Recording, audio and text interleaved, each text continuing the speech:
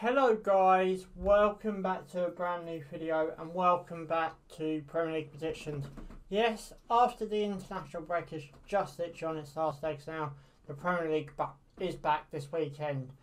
Um, anyway, there's a lot to talk about. I want to get straight into this video. So guys, you know what to do. Subscribe for more. Give us a big thumbs up if you enjoy it. Thanks for watching and let's go. So the first game is Watford versus Liverpool. Now I'm going to come a bit off topic. You know, I've been watching Ben Foster's YouTube channel. Uh, quite a good YouTube channel as well. Uh, well done to Ben uh, for getting the content that he does get up. I just want to say that.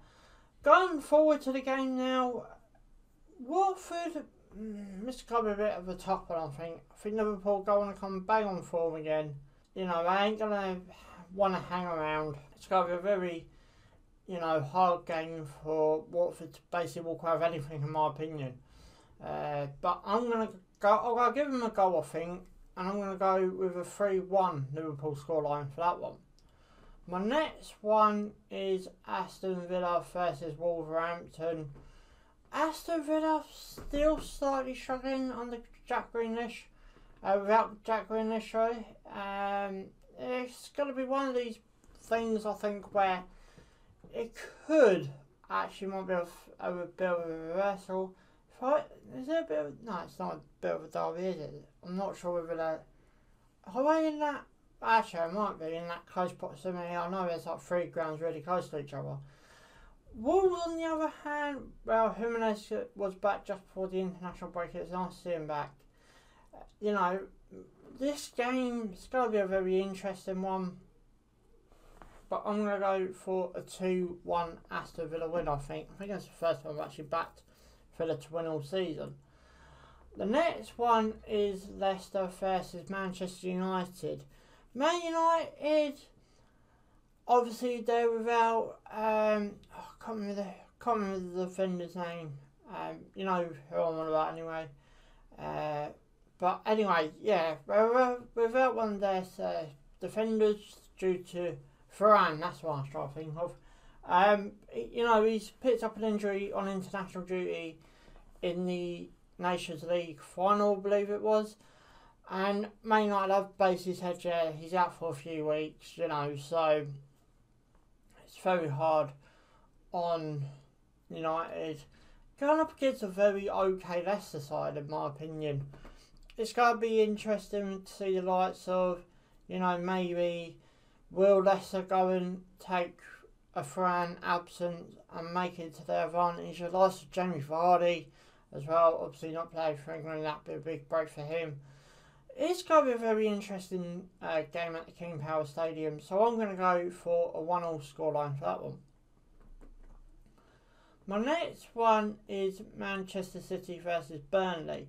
Manchester City should actually win this one quite comfortably. I, you know, I ain't got beat around the bush with, you know, what they should be doing, what they should be doing, but no disrespect to Burnley, Man City should win this one quite comfortably. But I am expecting Burnley to play every player back behind the ball. So it will be quite a hard game, as we've seen with the likes of England when every when the opponents play every man behind the ball. I'm gonna go possibly for yeah, um, I'm gonna go for a comfortable Manchester City win, and I'm gonna go for a four 0 Manchester City win. The next one is Norwich versus Brighton. Now Norwich picked up its first point. I think it's the last, literally the last week before the international break. This game could really be interesting with the likes of Norwich. Um, but on the other side of that, obviously, I'm from Brighton and I'm a Brighton fan. Brighton should win this one quite comfortably. And I know I say that quite a lot. And obviously, if you're a subscriber of mine and quite regular viewer, you do know I sometimes call it on the opposite end of what a lot of people are thinking. I think because of where Norwich are, I think Brighton will actually think this game is quite comfortably. I'm hoping Brighton win obviously, um, but I'm going to go for a draw, and I'm going to go for a one-all scoreline for that one, and I'm going to go with a Maybe a goal if he's back. I'm not quite sure if he's fit. And Pukki for Norwich. Um, the next one is Southampton versus Leeds. Now, Leeds are really underperforming this season, in my opinion. I do think the likes of, you know, with the likes of second season syndrome, people call it, really are struggling. But so are Southampton on that end. So, though uh, Leeds have got a really big trip down to St Mary's across this weekend. It's going to be a very interesting game between the two clubs. Yet again, I'll go for a draw and I'll go for a 1 all scoreline for that one as well. My next one is Brentford versus Chelsea. Brentford are doing so well in the Premier League this season. First ever time in the Premier League and really settling in pretty quickly. Now, do I really. With Chelsea obviously being in the title fight, it's going to be a really interesting game for both of these clubs. Now, do I go against the odds with this one? Same as Brentford beating Arsenal. Brentford beat someone else or drew against someone else that I should, really shouldn't have done. But it's going to be a very interesting game between both of these clubs. Um, London Derby as well. I'm just probably to stick up for a Chelsea win just about, and I'll go for a 2 1 Chelsea win. But Brentford are playing well this season. The next one is Everton versus West Ham. Yet again, Everton getting under, uh, getting there under Rafael Benitez seems to be winning the crowd around slowly up at Everton, obviously being the ex Liverpool boss. West Ham, David Moyes, probably one of the most brilliant signing. You know, David Moyes obviously did take his time, you know, after Bilic being sacked. And he's basically paying off what he should be doing, winning games, European football. Um, but this game will be interesting. It's Sunday, so I'm going to go for another draw, and I'm going to go for a 2-2 scoreline for that one. My next one is Newcastle versus Spurs. Now I can't go on with uh, mentioning Newcastle without their new owners. Three, I think it's 320 billion the new owners are worth, or one of the new owners.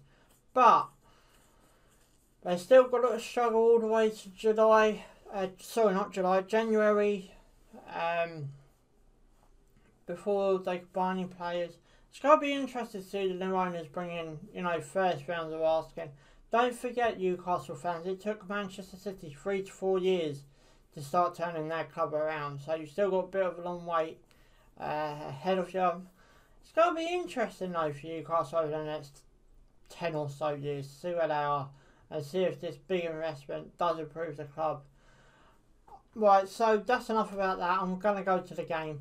As I said, Newcastle struggle, well, are struggling at this present time. I think they won a game yet, if I heard that correctly the other day, and if I remember correctly as well.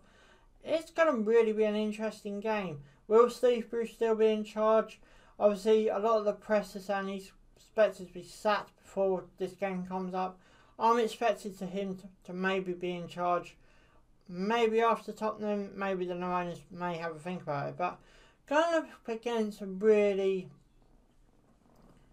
um, you know, not an informed Tottenham side. Tottenham are another team that's struggling this season, but because of the new owners and because of the, you know, expectation and because this game is as fat to set out now up at the James's Park Quasano, I'm going to go for a Newcastle win and I'm going to go for a 2 1 Newcastle win. My last one for this weekend is Arsenal versus Crystal Palace. Now, Arsenal and Crystal Palace, obviously, both London clubs, both at the different ends of the table. You know, I think Arsenal in the top 10. Um, I know Palace are a bit lower than that. But anyway, at the Emirates Stadium, Arsenal are finding a bit of form. So, you know, it's Crystal Palace. Um, you know, I can't remember who they played the last week before the international break. It was not Brighton as the week before, but anyway, I'm expecting Arsenal to win this one quite comfortably, and I'm going to go for a 3 1 uh, Arsenal win. But anyway, guys, you know what to do. Give it a big fat thumbs if you enjoy it. Subscribe for more. Thanks for watching. Ciao for now.